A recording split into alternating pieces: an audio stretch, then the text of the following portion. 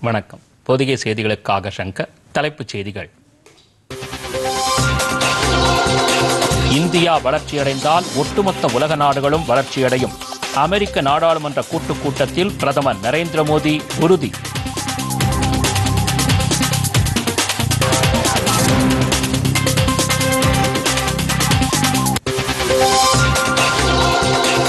பிரதமர் நரேந்திர மோடிக்கு அமெரிக்க அரசின் சார்பில் விருந்தளித்து கௌரவித்தார் ஜோ பைடன்.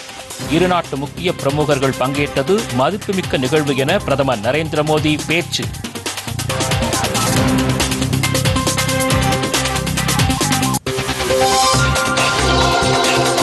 பிரதமர் நரேந்திர மோடி தலைமையில் புதிய காஷ்மீர் கட்டமைக்கப்பட்டு வருகிறது. ஜம்முவில் நடைபெற்ற பொதுக்கூட்டத்தில் மத்திய உள்துறை அமைச்சர் அமித்ஷா பேச்சு.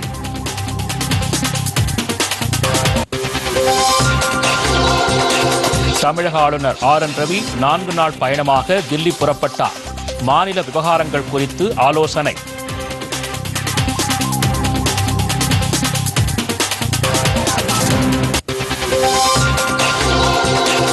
தைபே ஓபன் பேட்மிண்டன் போட்டி.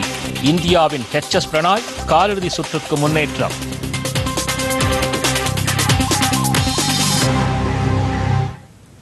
விரிவான செய்திகள்.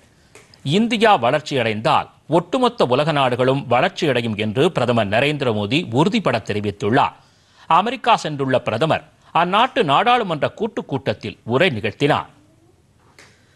அரசுமுறை பயணமாக அமெரிக்கா சென்றுள்ள பிரதமர் நரேந்திர மோடி இந்திய நேரப்படி இன்று அதிகாலை ஒன்றரை மணி அளவில் அமெரிக்க நாடாளுமன்ற கூட்டுக் கூட்டத்தில் உரையாற்றினார். இதற்காக அமெரிக்க நாடாளுமன்றத்திற்கு வந்த பிரதமர் நரேந்திர மோடிக்கு அமெரிக்க காங்கிரஸ் மற்றும் செனட் உறுப்பினர்கள் உற்சாக வரவேற்பு அளித்தனர். இரண்டாயிரத்து பதினாறாம் ஆண்டுக்கு பின்னர் அமெரிக்க நாடாளுமன்றத்தில் பிரதமர் நரேந்திர மோடி தற்போது இரண்டாவது முறையாக உரையாற்றியுள்ளார் அப்போது பேசிய அவர் இரண்டாவது முறையாக இந்த அவையில் பேச வாய்ப்பு கிடைத்தது தனக்கு கிடைத்த மிகப்பெரிய கௌரவம் என்று குறிப்பிட்டார். இந்த நூற்றாண்டில் நமக்கான தருணம் ஏற்பட்டிருப்பதாகவும் நீண்ட தூரம் பயணம் செய்திருப்பதாகவும் தெரிவித்த அவர் அமெரிக்காவுடனான நட்புறவு மிகப்பெரிய அளவில் வளர்ச்சி அடைந்திருப்பதாக குறிப்பிட்டார். கடந்த ஏழு ஆண்டுகளில் ஏராளமான மாற்றங்கள் ஏற்பட்டிருப்பதாக தெரிவித்த அவர் இரு நாடுகளுக்கும் இடையேயான நல்லுறவுகள் மேலும் வலுவடைந்திருப்பதாக கூறினார். தீவிரவாதத்தை எதிர்கொண்டு முறியடிப்பதில் எந்த ஒரு சமரசத்திற்கும் இடமில்லை என்றும் பிரதமர் அப்போது உறுதிபட தெரிவித்தார். More than two decades after 9-11 and more than a decade after 26-11 in Mumbai, radicalism and terrorism still remain a pressing danger for the whole world. These ideologies keep taking new identity and forms, but their intentions are the same. Terrorism is an enemy of humanity, and there can be no ifs and buts in dealing with it.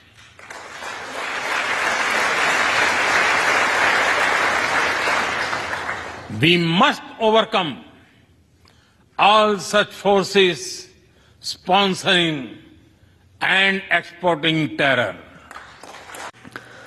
தாம் பிரதமராக அமெரிக்காவுக்கு முதல் முறையாக வந்தபோது இந்திய பொருளாதாரம் உலக அளவில் பத்தாவது இடத்தில் இருந்ததாக குறிப்பிட்ட அவர் தற்போது ஐந்தாவது இடத்திற்கு முன்னேறி இருப்பதாக தெரிவித்தார். விரைவில் இது மூன்றாவது இடத்திற்கு முன்னேறும் என்று தெரிவித்த பிரதமர் இந்தியா வளர்ச்சியடைந்தால் ஒட்டுமொத்த உலக நாடுகளும் வளர்ச்சி அடையும் என்றார். COVID 19's biggest impact was the human loss and suffering it caused.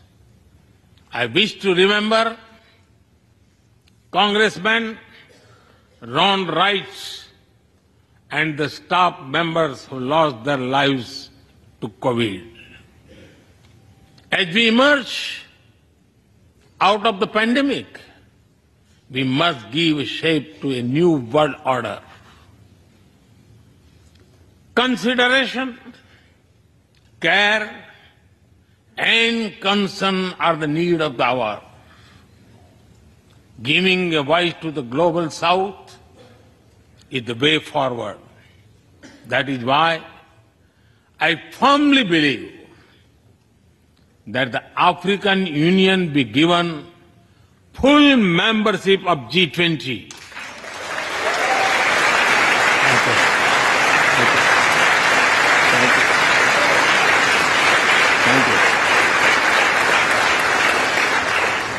ஜனநாயகத்தின் அடிப்படையிலான நீடித்த வளர்ச்சி என்பது உலக நாடுகளை உள்ளடக்கியது என்று பிரதமர் தெரிவித்தார் இந்தியாவின் கலாச்சாரம் உலக நாடுகள் மத்தியில் மிகவும் மதிக்கப்படுவதாகவும் இந்தியாவுடன் இணைந்து அனைத்து நாடுகளும் வளர்ச்சியடைய வேண்டும் என்பதே தங்களின் நோக்கம் என்றும் பிரதமர் நரேந்திர மோடி தெரிவித்தார். பிரதமரின் பேச்சுக்கு இடையே அமெரிக்க நாடாளுமன்ற உறுப்பினர்கள் அவ்வப்போது கரவொளி எழுப்பி தங்களின் வாழ்த்துக்களையும் பாராட்டுதல்களையும் வெளிப்படுத்தினர். We come from different circumstances and history, but we are united by a common vision. And by a common destiny. When our partnership progresses, economic resilience increases, innovation grows, science flourishes, knowledge advances, humanity benefits, our seas and skies are safer, democracy will shine brighter, and the world will be better place. That is the mission of our partnership. That is our calling for this century. இந்தியாவுக்கும் அமெரிக்காவுக்கும் இடையேயான நல்லுறவுகள் முன் எப்போதும் இல்லாத அளவுக்கு சிறப்பான வளர்ச்சியை அடைந்திருப்பதாக பிரதமர் நரேந்திர மோடி தெரிவித்துள்ளார் அமெரிக்க அதிபர் ஜோ பைடனை வெள்ளை மாளிகையில் சந்தித்த பின்னர் செய்தியாளர்களிடம் பேசுகையில் அவர் இதனை தெரிவித்தார் பிரதமர் நரேந்திர மோடி தமது அமெரிக்க பயணத்தின் முக்கிய நிகழ்வாக நேற்று வாஷிங்டனில் அந்நாட்டு அதிபர் ஜோ பைடனை சந்தித்து இருதரப்பு பேச்சு நடத்தினார். நியூயார்க் பயணத்தை முடித்துக் கொண்டு நேற்று வாஷிங்டன் சென்ற பிரதமர் மோடியை ஜோ பைடன் மற்றும் அந்நாட்டின் முதல் பெண்மணியான ஜில் பைடனும் வரவேற்று வெள்ளை மாளிகைக்கு அழைத்துச் சென்றனர். பிரதமர் நரேந்திர மோடிக்கு அவர்கள் நினைவு பரிசை வழங்கினர். பதிலுக்கு பிரதமர் நரேந்திர மோடியும் இந்தியாவிலிருந்து பிரத்யேகமாக வடிவமைக்கப்பட்ட சந்தன பெட்டி விநாயகர் சிலை உபனிஷட புத்தகம் வெள்ளை எள் உள்ளிட்டவற்றை வழங்கினார். ஜில் பைடனுக்கு சிறப்பு வைரக்கல்லை பிரதமர் மோடி வழங்கினார். இதைத் தொடர்ந்து வெள்ளை மாளிகையில் பைடனுடன் அதிகாரப்பூர்வ பேச்சுக்கள் நடத்தினார். அமெரிக்க அதிபருடனான சந்திப்பிற்கு பின்னர் இரு தலைவர்களும் கூட்டாக செய்தியாளர்களுக்கு பேட்டி அளித்தனர். அப்போது பேசிய பிரதமர் மோடி இந்தியாவில் ஜாதி அல்லது மத அடிப்படையில் பாகுபாடு காட்டப்படும் பேச்சுக்கே இடமில்லை என்று உறுதிபட தெரிவித்தார். இந்தியர்களுக்கும் அமெரிக்கர்களுக்கும் இடையேயான உறவு இரு நாடுகளின் உண்மையான சக்தியாக திகழ்கிறது என்றும் அவர் கூறினார். ஆழ்கடல் தொடங்கி விண்வெளி வரை தொன்மையான கலாச்சாரம் முதல் செயற்கை நுண்ணறிவு வரை என அனைத்து தளங்களிலும் இரு நாடுகளும் தோளோடு தோல் நின்று ஒத்துழைப்புடன் செயல்படுவதாக பிரதமர் நரேந்திர மோடி தெரிவித்தார். भारत और अमेरिका दोनों के समाज और व्यवस्थाएँ लोकतांत्रिक मूल्यों पर आधारित है। दोनों देशों के संविधान, उसके पहले तीन शब्द, और जैसा राष्ट्रपति बाइडेन ने अभी जिसका उल्लेख किया वी द पीपल हम दोनों देश अपनी विविधता पर गर्व करते हैं हम सर्वजन हिताय सर्वजन सुखाय इस मूलभूत सिद्धांत में विश्वास रखते हैं கடின உழைப்பு மற்றும் அர்ப்பணிப்பு மூலம் முன்னேறியுள்ள அமெரிக்க வாழ் இந்தியர்கள் இந்தியாவின் பெருமையை உயர்த்தி உள்ளதாகவும் இரு நாடுகளுக்கான உறவின் பாலமாக திகழ்வதாகவும் அவர் குறிப்பிட்டார் உலக நன்மை அமைதி ஸ்திரத்தன்மை மற்றும் வளர்ச்சிக்கு இந்தியாவும் அமெரிக்காவும் இணைந்து செயல்பட உறுதி பூண்டுள்ளதாக பிரதமர் மோடி தெரிவித்தார். அமெரிக்கா முன்னெடுத்து வரும் சர்வதேச விண்வெளி திட்டமான ஆர்டிமிஸ் ஒப்பந்தத்தில் இணைய இந்தியா தீர்மானித்துள்ளதாக குறிப்பிட்டார். இதன் மூலம் விண்வெளி ஒப்பந்தத்தில் இந்தியா புதிய அடியெடுத்து வைத்துள்ளது என்று கூறினார். பின்னர் பேசிய அமெரிக்க அதிபர் ஜோ பைடன் உலகில் மிகுந்த முக்கியத்துவம் வாய்ந்த கூட்டுறவாக இந்தியா அமெரிக்கா இடையேயான உறவுகள் அமைந்துள்ளது என்றும் வரலாற்றில் முன் எப்பொழுதும் இல்லாத வகையில் வலுவாகவும் நெருக்கமாகவும் இந்த நல்லுறவு அமைந்துள்ளது என்றும் தெரிவித்தார்.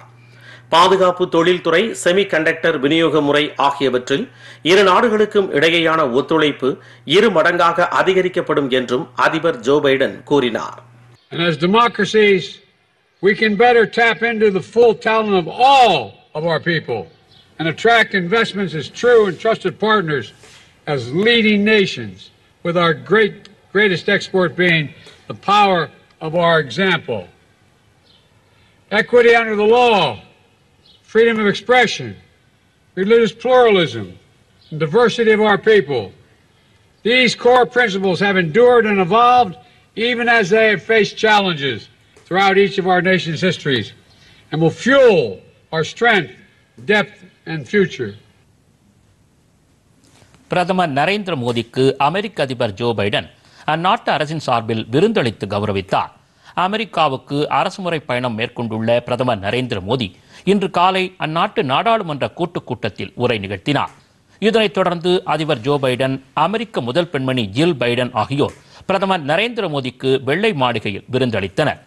தமக்கு அளித்த விருந்திற்காக அமெரிக்க அதிபருக்கும் ஜில் பைடனுக்கும் பிரதமர் நரேந்திர மோடி நன்றி தெரிவித்துக் கொண்டார் இரு நாடுகளின் மக்கள் பிரதிநிதிகள் பங்கேற்ற விருந்தில் கலந்து கொண்டது மிக முக்கியமான தருணம் என்றும் நாட்டு மக்கள்தான் மதிப்புமிக்க சொத்துக்களாகும் என்றும் அவர் குறிப்பிட்டார் आज के इस शानदार रात्रि भोज के आयोजन के लिए मैं प्रेसिडेंट बाइडेन के प्रति हृदय से आभार प्रकट करता हूं मैं डॉक्टर जील बाइडेन का विशेष रूप से आभारी हूं कि उन्होंने मेरी यात्रा को सफल बनाने के लिए निजी रूप से इतना ध्यान दिया इतने प्रयास किए आज के भव्य आयोजन के लिए मैं उनका हृदय से अभिनंदन करता हूं பிரதமர் நரேந்திர மோடியுடன் விருந்து நிகழ்ச்சியின் போது நேரம் செலவிட்டது மிக மகிழ்ச்சியான தருணம் என்று அமெரிக்க அதிபர் ஜோ பைடன் கூறினார். இந்தியாவுக்கும் அமெரிக்காவுக்கும் இடையேயான நட்பு பிணைப்பை கொண்டாடும் வகையில் இந்த நாள் அமைந்திருந்ததாக அவர் தெரிவித்தார்.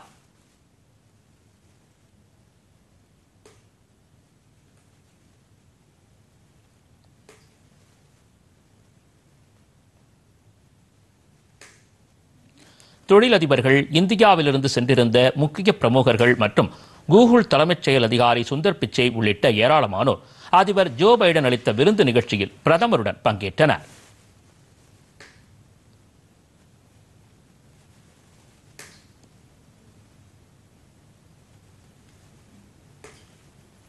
பிரதமர் நரேந்திர மோடி அமெரிக்க அதிபர் ஜோ பைடன் இடையேயான ஆலோசனையின் போது தொழில்நுட்ப ஒத்துழைப்பு பிரதானமாக இருந்ததாக வெளியுறவுத்துறை செயலாளர் வினய் மோகன் தெரிவித்துள்ளார்.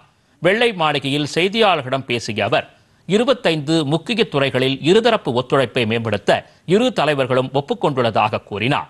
சர்வதேச அளவில் தீவிரவாதத்திற்கு எதிராக உலக நாடுகள் ஒன்றிணைந்து செயல்பட வேண்டும் என்று இரு தலைவர்களும் வலியுறுத்தியதாக அவர் தெரிவித்தார். அகமதாபாத் மற்றும் பெங்களூருவில் அமெரிக்க துணை தூதரகங்களும் அமெரிக்காவின் ஷியாட்டல் நகரில் இந்திய துணை தூதரகம் தொடங்க இரு தலைவர்களும் ஒப்புக்கொண்டதாக அவர் தெரிவித்தார்.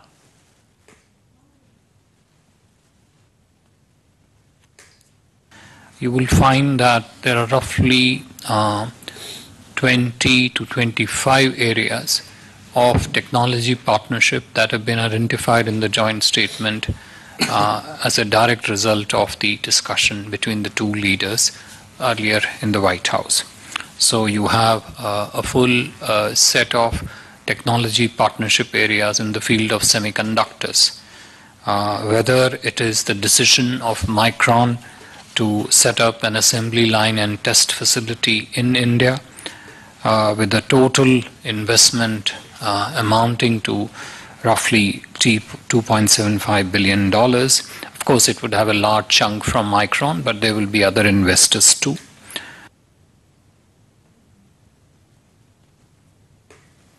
குடியரசு துணைத் தலைவர் ஜெகதீப் தன்கர் ஒரு நாள் பயணமாக இன்று ராஜஸ்தான் தலைநகர் ஜெய்ப்பூர் செல்கிறார் மாளவியா தேசிய தொழில்நுட்பக் கழகத்தில் நடைபெறும் கல்விக் கொள்கை தொடர்பான நிபுணர்கள் கூட்டத்தில் சிறப்பு விருந்தினராக பங்கேற்று அவர் உரையாற்ற உள்ளார் தொழில்நுட்பக் கழக வளாகத்தில் மதன் மோகன் மாளவியாவின் சிலைக்கு மரியாதை செலுத்தும் அவர் மரக்கன்றையும் நட்டு வைக்கிறார். தொடர்ந்து மாணவர்களுடன் கலந்துரையாடுகிறார். பல்கலைக்கழக துணைவேந்தர்கள் இயக்குநர்கள் முதல்வர்கள் துறை சார்ந்த தலைவர்கள் உள்ளிட்டோர் இந்த நிகழ்ச்சியில் கலந்து கொள்ள உள்ளனர் பிரதமர் நரேந்திர மோடி தலைமையில் புதிய காஷ்மீர் கட்டமைக்கப்பட்டு வருவதாக ஜம்முவில் நடைபெற்ற பொதுக்கூட்டத்தில் மத்திய உள்துறை அமைச்சர் அமித்ஷா தெரிவித்துள்ளார். இரண்டு நாள் பயணமாக இன்று ஜம்மு காஷ்மீர் சென்ற அவர் ஜம்முவில் பல்வேறு வளர்ச்சித் திட்டங்களுக்கு அடிக்கல் நாட்டினார். அப்போது பேசிய அவர் ஜம்மு காஷ்மீரில் அனைத்து குடிமக்களுக்கும் ஐந்து லட்சம் ரூபாய்க்கான இலவச மருத்துவ காப்பீடு வழங்கப்பட்டுள்ளதாக தெரிவித்தார். பாட்னாவில் எதிர்க்கட்சிகள் நடத்தும் கூட்டத்தை பற்றி குறிப்பிட்ட அமைச்சர் அமித்ஷா வரும் நாடாளுமன்ற தேர்தலில் முன்னூறுக்கும் அதிகமான தொகுதிகளை பாஜக தலைமையிலான தேசிய ஜனநாயக கூட்டணி கைப்பற்றி மீண்டும் பிரதமராக நரேந்திர மோடி வருவது உறுதி என்று தெரிவித்தார்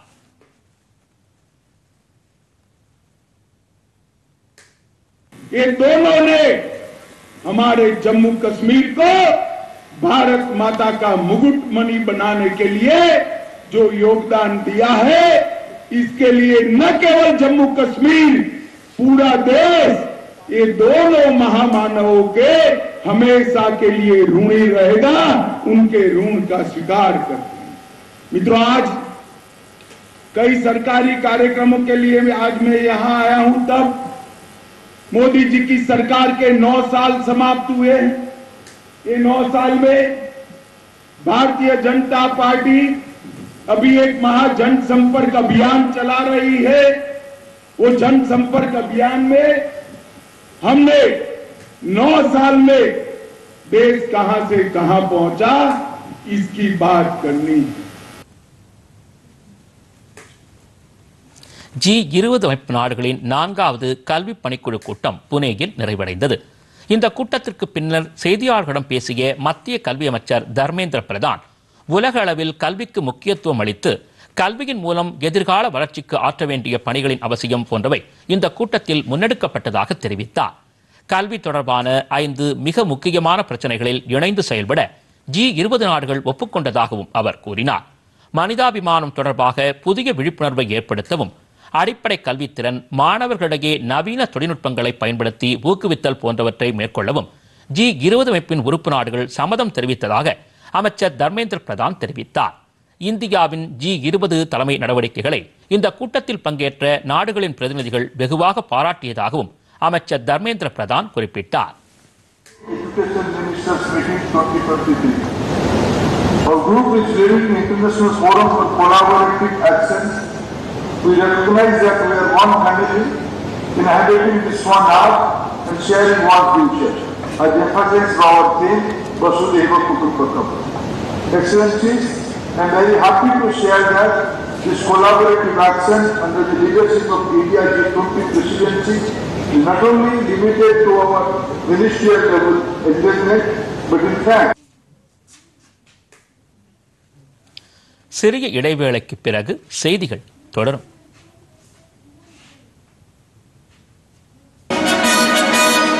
உலகம் ஒரு குடும்பம் அதில் ஒவ்வொருவரும் பயனடைய வேண்டும் இந்தியா வளரும் போது ஒட்டுமொத்த உலகமும் சேர்ந்தே வளரும் பொருளாதார வளர்ச்சியில் ஐந்தாவது இடத்திலிருந்து மூன்றாவது இடத்திற்கு முன்னேறும் India our trusted partnership our trusted partnership it like the sun in this new dawn that is spread light all around பெருந்தொற்று காலத்திற்கு பின் புதிய பயணம் ஜி இருபது குழுவில் ஆப்பிரிக்க யூனியனுக்கு முழு பிரதிநிதித்துவம் தர வேண்டும் அமெரிக்க நாடாளுமன்றத்தில் முழங்கிய பிரதமர் Modi There have been many advances in AI, artificial intelligence. At the same time, there have been even more momentous development in another AI, America and India.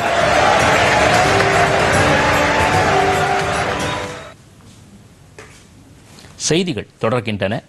பணவீக்கத்திற்கு எதிரான போராட்டம் இன்னமும் முடிந்துவிடவில்லை என்று ரிசர்வ் வங்கி ஆளுநர் சக்தி காந்ததாஸ் தெரிவித்துள்ளார்.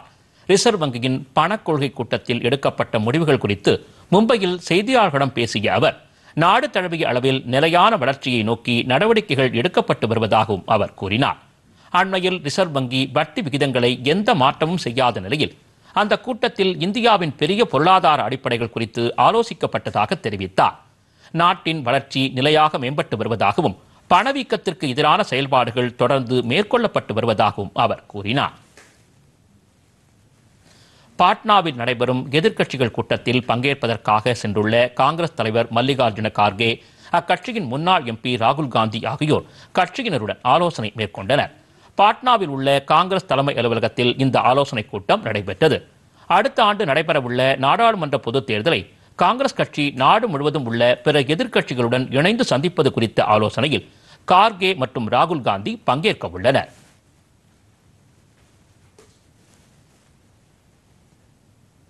தமிழ்நாடு ஆளுநர் ஆர் என் ரவி நான்கு நாள் பயணமாக தில்லி புறப்பட்டுச் சென்றார். திடீரென வந்த அழைப்பின் பேரில் ஆளுநர் தில்லி சென்றுள்ளதாக தெரிவிக்கப்பட்டுள்ளது. ஆளுநருடன் அவருடைய செயலாளர் உதவியாளர் உள்ளிட்டோரும் விமானம் மூலம் தில்லி சென்றுள்ளனர். குடியரசுத் தலைவர் பிரதமர் உள்துறை அமைச்சர் ஆகியோரை ஆளுநர் சந்தித்து பேசவுள்ளதாக தகவல்கள் தெரிவிக்கின்றன.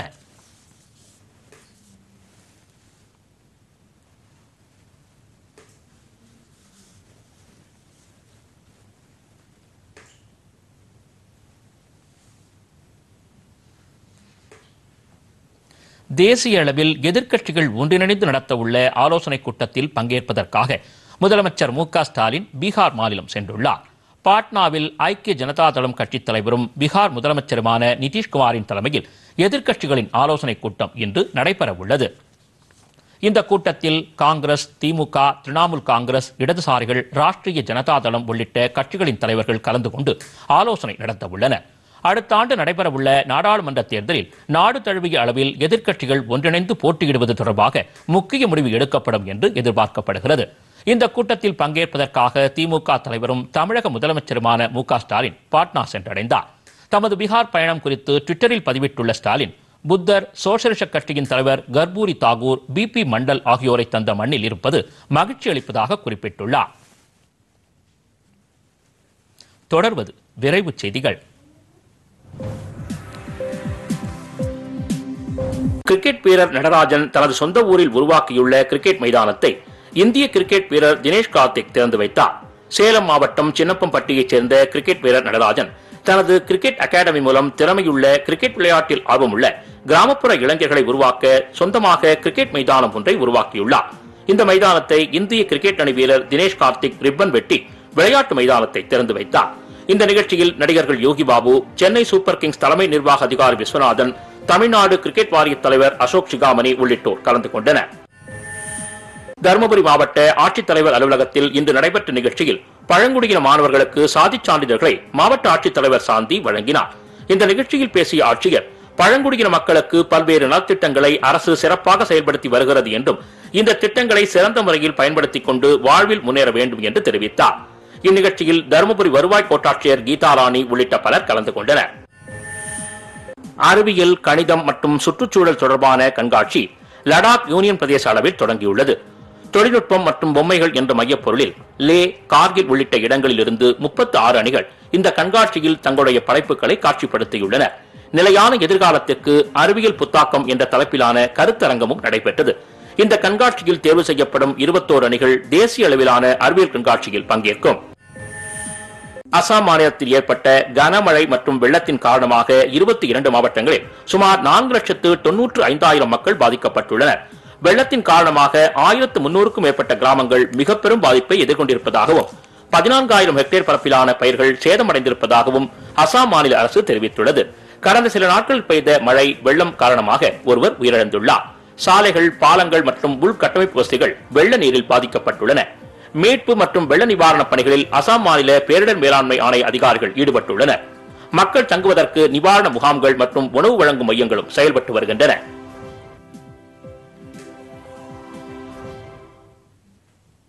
அரசியல் அதிகாரம் மற்றும் அரசு ஊடகத்தை தவறாக பயன்படுத்தியதாக கூறப்படும் குற்றச்சாட்டின் பேரில் பிரேசில் முன்னாள் அதிபர் ஜெயிர் போல்சனாரோ மீதான விசாரணை அந்நாட்டு நீதிமன்றத்தில் தொடங்கியுள்ளது.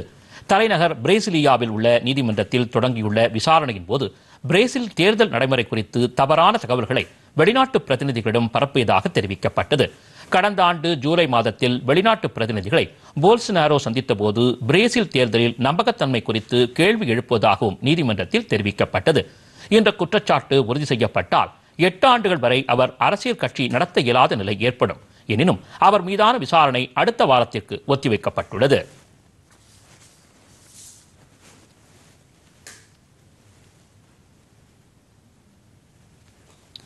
கிரீஸ் அருகே படகு விபத்தில் நூற்றுக்கணக்கானவர்கள் உயிரிழக்க காரணமானவர் பிரிட்டனில் கைது செய்யப்பட்டார்.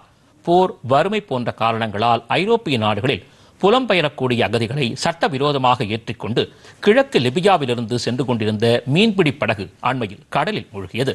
இந்த விபத்து தொடர்பாக எகிப்து நாட்டைச் சேர்ந்தவரை கைது செய்துள்ளதாக பிரிட்டனின் தேசிய குற்றவியல் அமைப்பு அறிக்கை வெளியிட்டுள்ளது. அகதிகள் கடத்திச் செல்லப்பட்டதில் கைது செய்யப்பட்டவருக்கு முக்கிய பங்குள்ளதாக அந்த அறிக்கையில் தெரிவிக்கப்பட்டுள்ளது.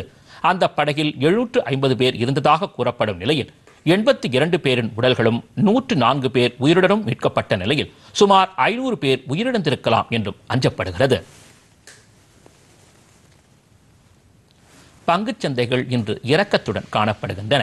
மும்பை பங்குச்சந்தை குறியீட்டு எண் சென்செக்ஸ் நூற்று ஒன்று புள்ளிகள் குறைந்து அறுபத்து மூன்றாயிரத்து நூற்று முப்பத்தி ஏழு புள்ளிகளாக வர்த்தகமாகிறது. தேசிய பங்குச்சந்தையான நிப்டியும் ஐம்பத்து மூன்று புள்ளிகள் குறைந்து பதினெட்டாயிரத்து எழுநூற்று பதினெட்டு புள்ளிகளாக வர்த்தகமாகிறது. அமெரிக்க டாலருக்கு நிகரான இந்திய ரூபாயின் மதிப்பு எண்பத்து இரண்டு ரூபாய் நான்கு காசாக உள்ளது.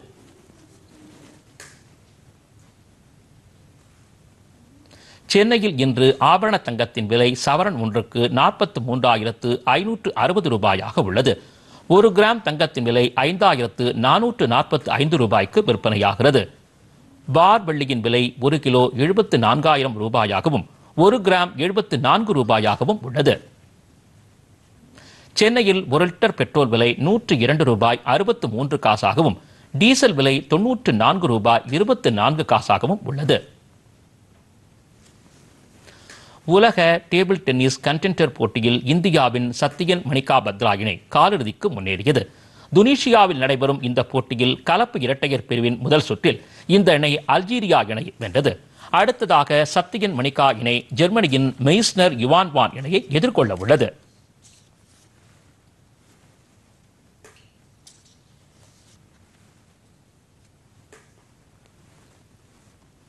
முன்னதாக ஆடவர் இரட்டையர் பிரிவில் இந்தியாவின் மானவ் தக்கர் மனுஷா இணை சீனாவின் லின் யுவான் லிசன் இணையை வீழ்த்தி அடுத்த சுற்றுக்கு முன்னேறியது. தைபே ஓபன் பேட்மிண்டன் போட்டியில் இந்தியாவின் ஹெச் எஸ் பிரணாய் காலிறுதி சுற்றுக்கு முன்னேறினார். நேற்று நடைபெற்ற ஆடவர் ஒற்றையர் பிரிவின் காலிறுதிக்கு முந்தைய ஆட்டத்தில் இந்தோனேஷியாவின் சுக்கியா டோமியை ஹெச் எஸ் பிரணாய் எதிர்கொண்டார்.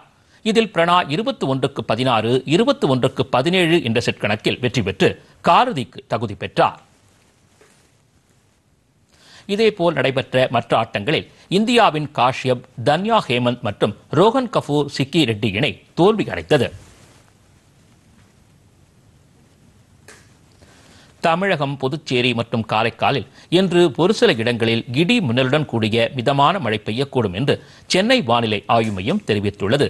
தென்னிந்திய பகுதிகளில் மேல் அடுக்குகளில் நிலவும் கிழக்கு மற்றும் மேற்கு திசை காற்றும் சந்திக்கும் பகுதியின் காரணமாக அடுத்த மூன்று தினங்களுக்கு தமிழகம் புதுச்சேரியில் லேசானது முதல் மிதமான மழை பெய்ய வாய்ப்புள்ளதாக வானிலை ஆய்வு மைய அறிக்கை தெரிவிக்கிறது.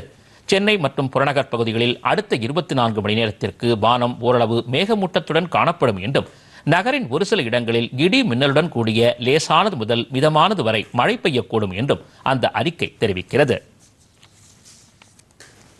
மீண்டும் தலைப்புச் செய்திகள். இந்தியா வளர்ச்சியடைந்தால் ஒட்டுமொத்த உலக நாடுகளும் வளர்ச்சியடையும். அமெரிக்க நாடாளுமன்ற கூட்டுக் கூட்டத்தில் பிரதமர் நரேந்திர மோடி உறுதி.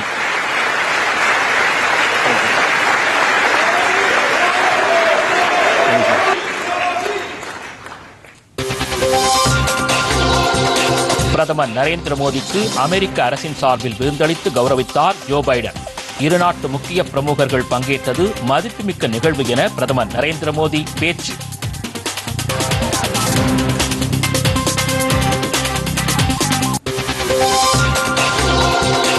பிரதமர் நரேந்திர மோடி தலைமையில் புதிய காஷ்மீர் கட்டமைக்கப்பட்டு வருகிறது. ஜம்முவில் நடைபெற்ற பொதுக்கூட்டத்தில் மத்திய உள்துறை அமைச்சர் அமித்ஷா பேச்சு.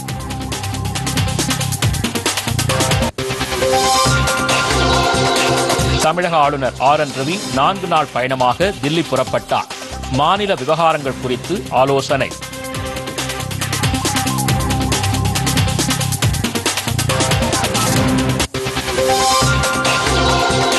தைபே ஓபன் பேட்மிண்டன் போட்டி இந்தியாவின் ஹெச் எஸ் பிரணாய் காலிறுதி சுற்றுக்கு முன்னேற்றம்.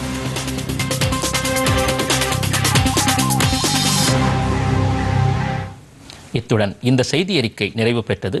மீண்டும் செய்திகள் மாலை ஐந்து மணிக்கு. வணக்கம்.